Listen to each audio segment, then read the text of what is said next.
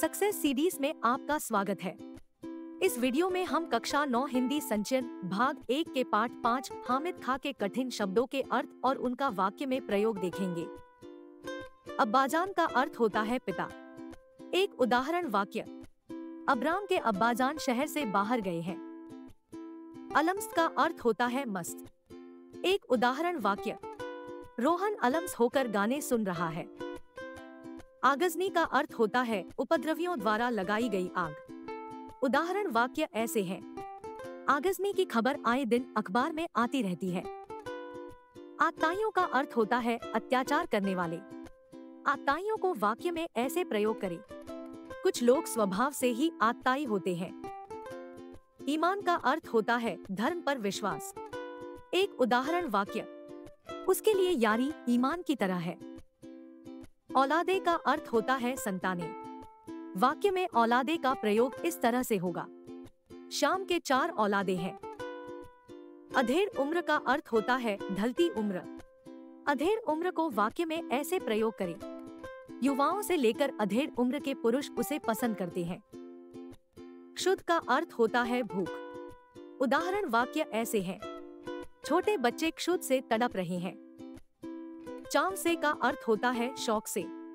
एक उदाहरण वाक्य, लड़कियाँ बहुत ही चाव से चाट खाती है। जहान का अर्थ होता है संसार। एक उदाहरण वाक्य, इस जहान में बहुत से जीव जंतु हैं।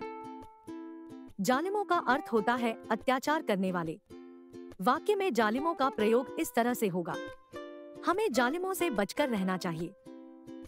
जो ही का अर्थ होता है जैसे ही। एक उदाहरण वाक्य।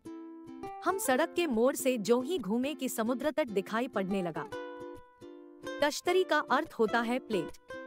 उदाहरण वाक्य ऐसे हैं। तश्तरी में नाश्ता डालकर परोसा गया। तृप्त का अर्थ होता है संतोष। एक उदाहरण वाक्य। वह बहुत खुश और तृप्त लग रहा है। दड़ियल का अर्थ होता है दाढ़ी वाला। दड़ियल को वाक्य में ऐसे प्रयोग करें। दड़ियल बुढ़ा अपने बालकनी में हुक्का पी रहा है। धौस जमाकर का अर्थ होता है गुस्सा दिखाकर ज़बरदस्ती। वाक्य में धौस जमाकर का प्रयोग इस तरह से होगा।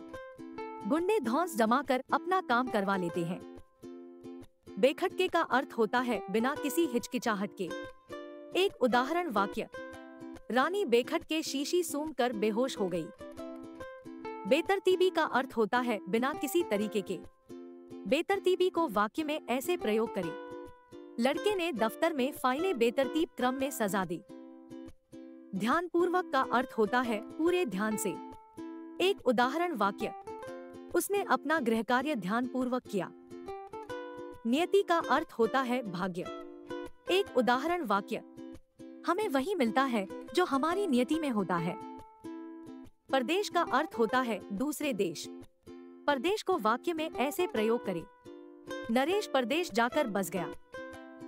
पश्तो का अर्थ होता है प्राचीन भाषा। एक उदाहरण वाक्य। इस देश की प्रमुख भाषाएँ उर्दू, पंजाबी, सिंधी, बलूची और पश्तो हैं। पौराणिक का अर्थ होता है, जिसका उल्लेख पुराणों में हुआ हो। उदाहरण वाक्य ऐसे हैं। गंगा नदी के साथ अनेक पौराणिक कथाएँ जुड़ी हुई हैं। फख्र का अर्थ होता है गर्व। वाक्य में फख्र का प्रयोग इस तरह से होगा। जब कोई वक्ता श्रेष्ठता का परिचय देता तो वे फख्र से भर उठते हैं। मोल का अर्थ होता है खरीदना। मोल को वाक्य में ऐसे प्रयोग करें। पुराना फर्नीचर कबाड़ की दुकानों से पानी के मोल पर खरीदा गया। सालन का अर्थ होता है गोश्त या सब्ज़ी का मसालेदार शोरबा। एक उदाहरण वाक्य। भूख लगने पर मैंने सालन के साथ चावल खाया। बेपरवाही का अर्थ होता है बिना किसी परवाह के। एक उदाहरण वाक्य। शराब पीकर लोग बहुत बेपरवाही से गाड़ी चलाते हैं। मुल्क का अर्थ होता है देश। एक उदाहरण वाक्य। हमारे मुल्क में विभिन्न समुदाय के लोग रहते हैं। विनती का अर्थ होता है प्रार्थना। वाक्य में विनती का प्रयोग इस तरह से होगा। मैंने भगवान से विनती की मुझे इम्तिहान में पास करवा दे। सकुचा का अर्थ होता है हिचकिचाना। एक उदाहरण वाक्य। सोनाली ने बहुत ही सकुचे से अपने मन की बात बताई। सेंकना का अर्थ होता है पकाना। एक उदाहरण वाक्य। शकरकंद को आग पर सेक कर खाया जाता है।